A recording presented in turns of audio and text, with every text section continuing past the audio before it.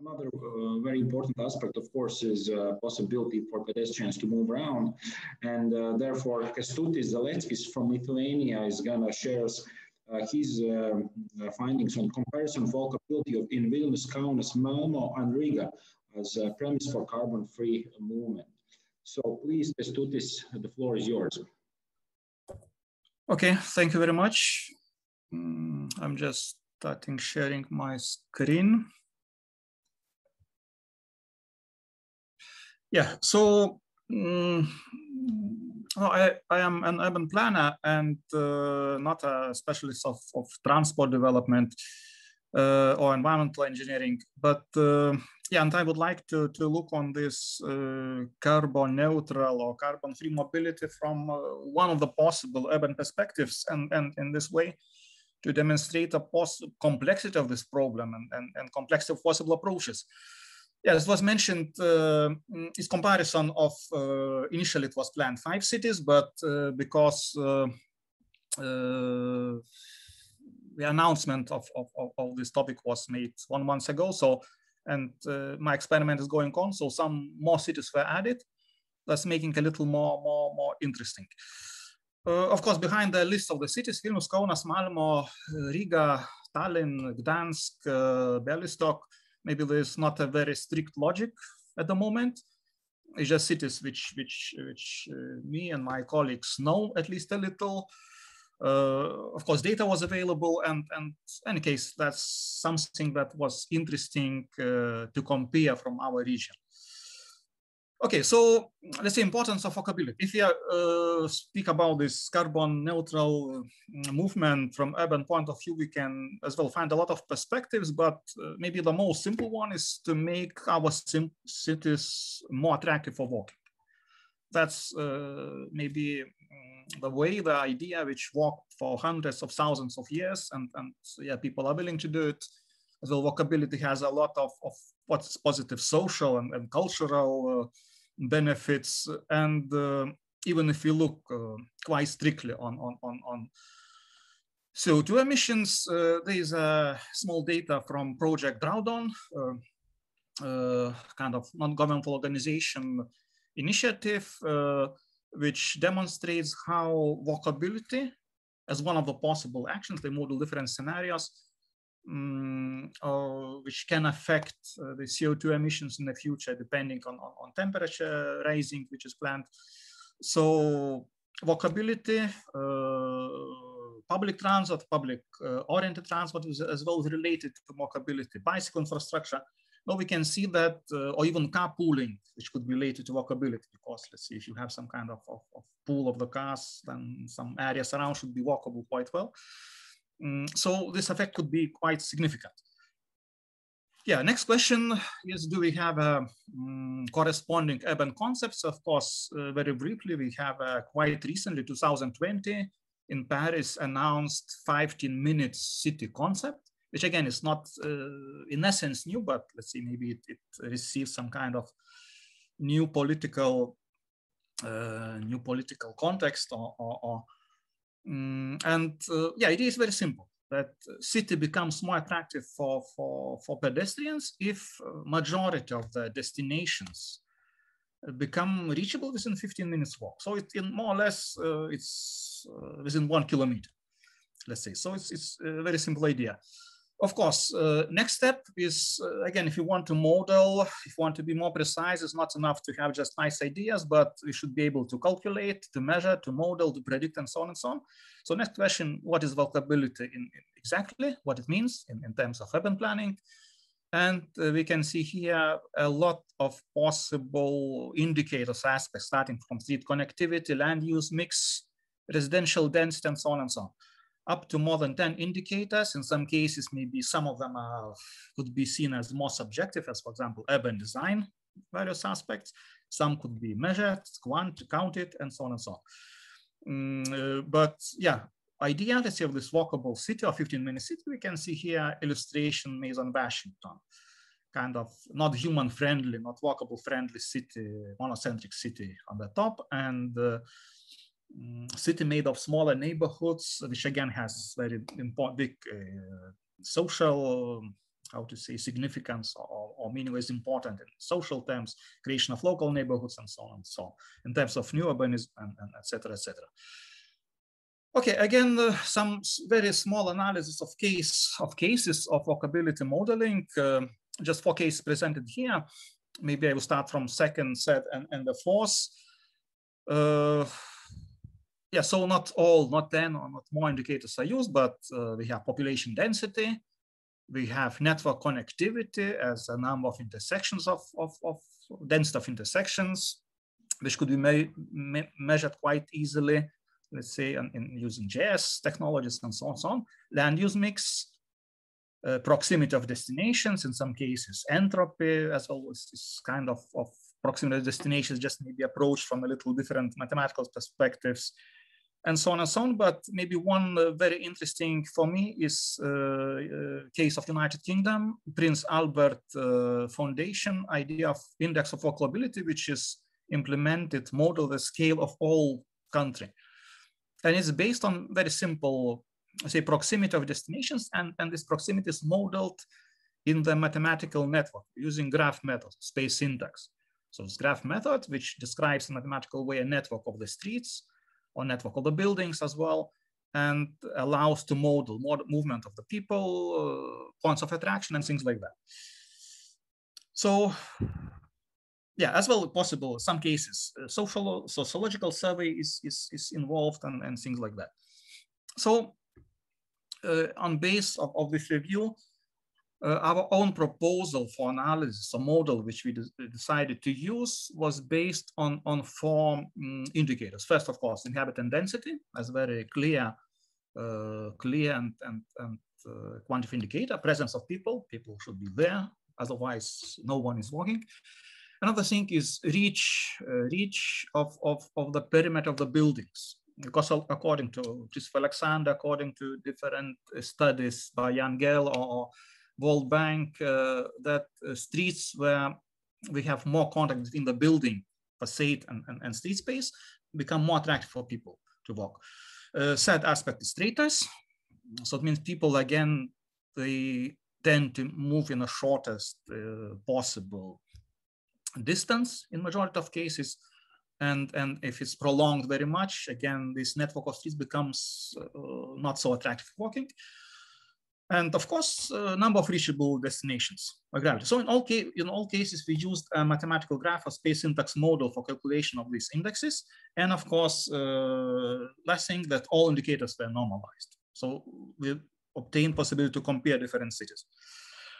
Okay, so um, as well, our data collection of data indicators is related to open data which we were able, which we can get. So this is set is for Kaunas, but identical set was collected for every city. We have street network, we have buildings network, with some functionalities available in OpenStreetMaps.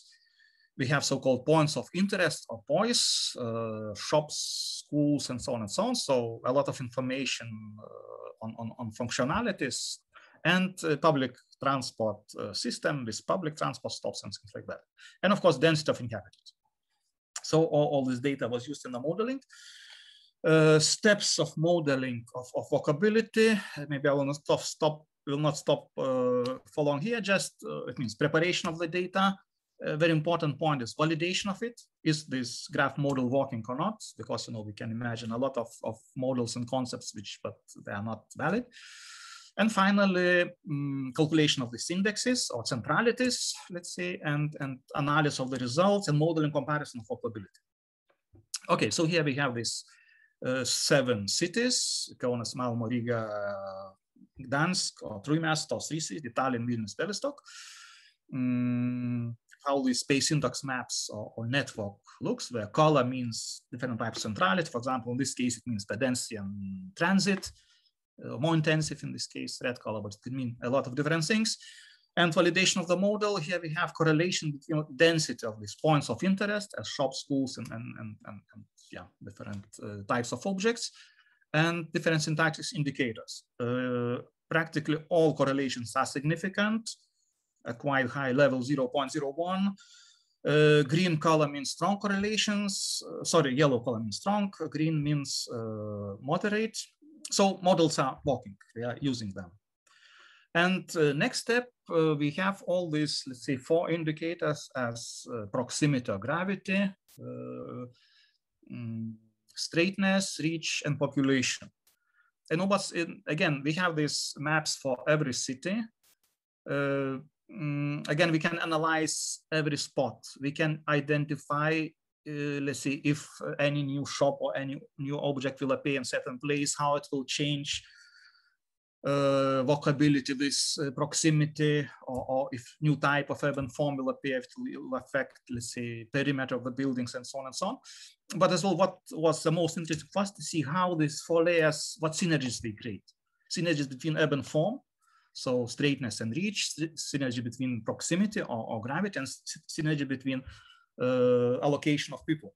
And in case of Kaunas, the synergies are quite weak.